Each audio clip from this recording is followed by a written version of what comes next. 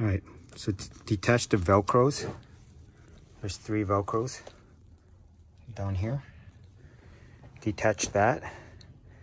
And these things, there's one, two, three, four bolts. I already got this one out.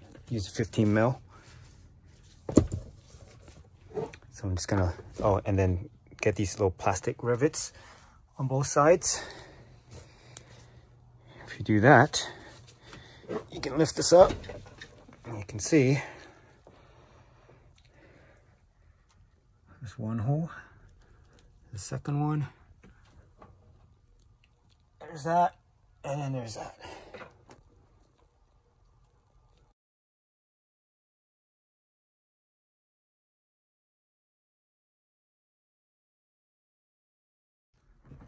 Okay, so I took out the brackets.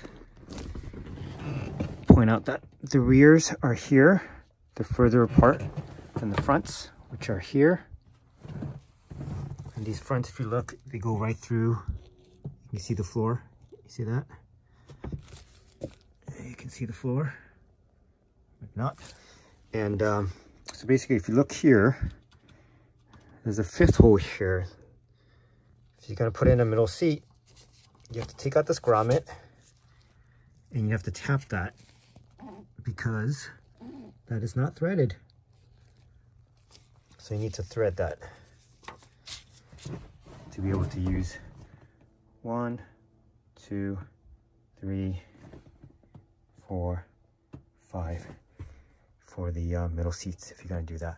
And then obviously cut out the carpet where you need to cut it out. That's it.